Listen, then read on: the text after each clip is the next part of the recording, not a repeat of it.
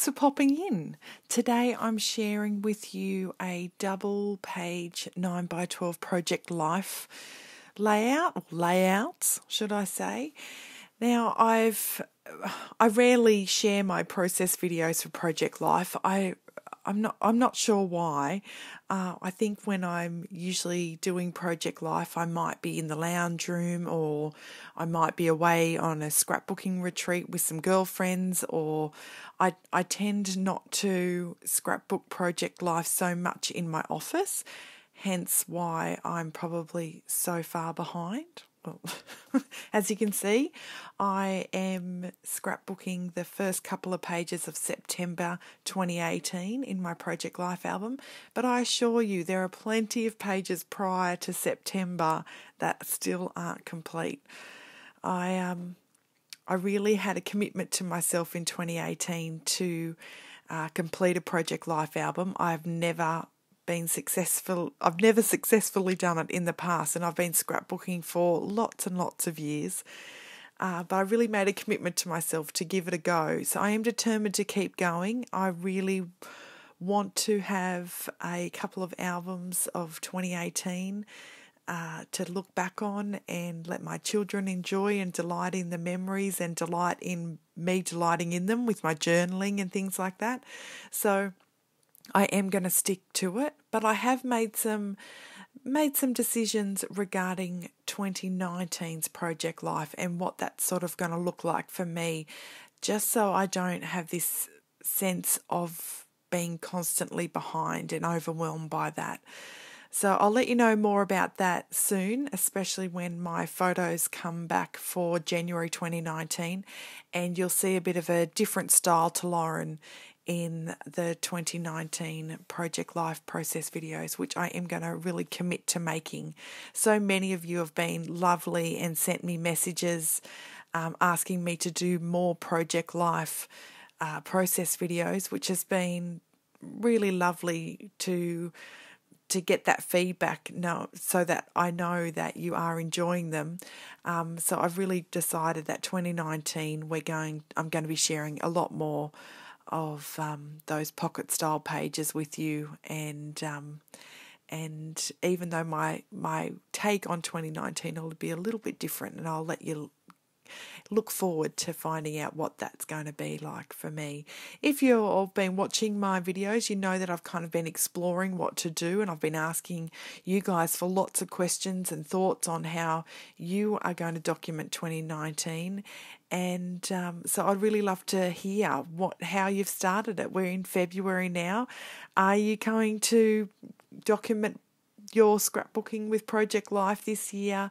Are you going to do anything different? Are you sticking with the same size? Are you changing sizes? I'd really love to hear your thoughts. So let me know in the comments below because I'd really want to have a bit of a chat about it, um, especially when I'm about to start really documenting 2019. So as you can see, I've just jumped straight in here.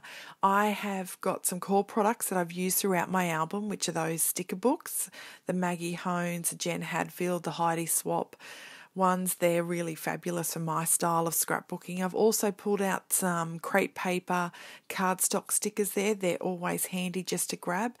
I've using just some 6x6 paper pads just to mount my photos and add that little bit of cardstock element to tie it all together and feature some photos.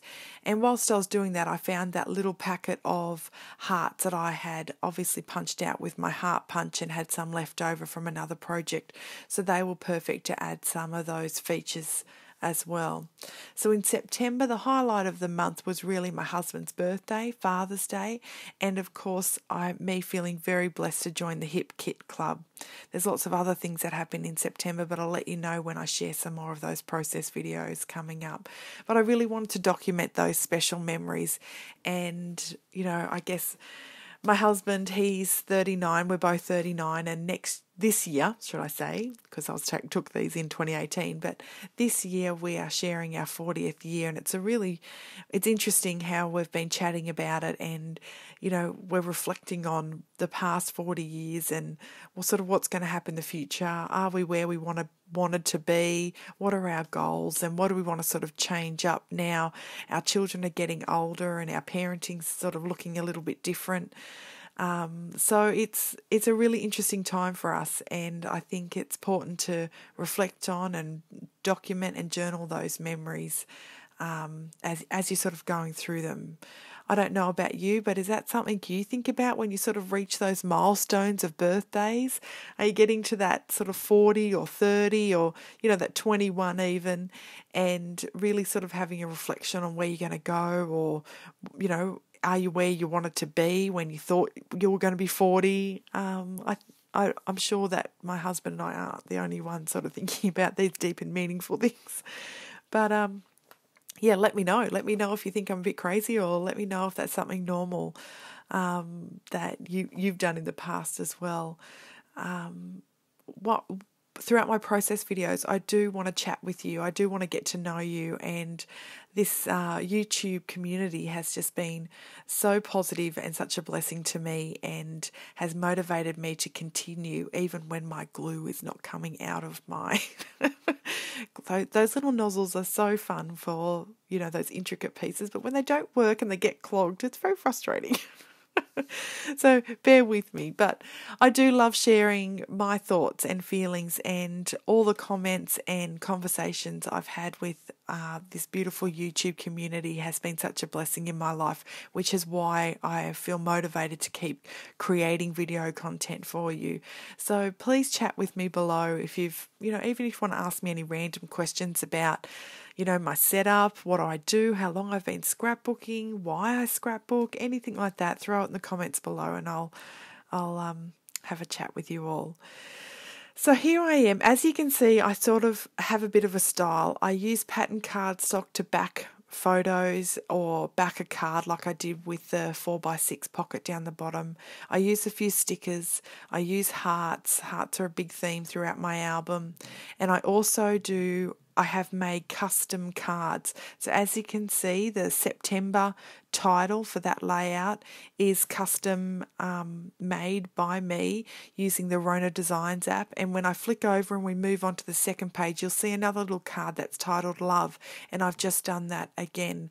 It, what it has done is made my album this sort of a um, having well looking through each of the months you can see this these similarities in style and um, theme. So even if I decide to go with different coloured cardstock or different sort of embellishments or you know just throw something out of the whack that doesn't usually isn't usually the theme i know that the album will hold strong in the sense of that it will have that continuity because of those key elements that i've decided to keep going with throughout the entire album. So have a think about that for your 2019 album. You might want to make some custom cards like me.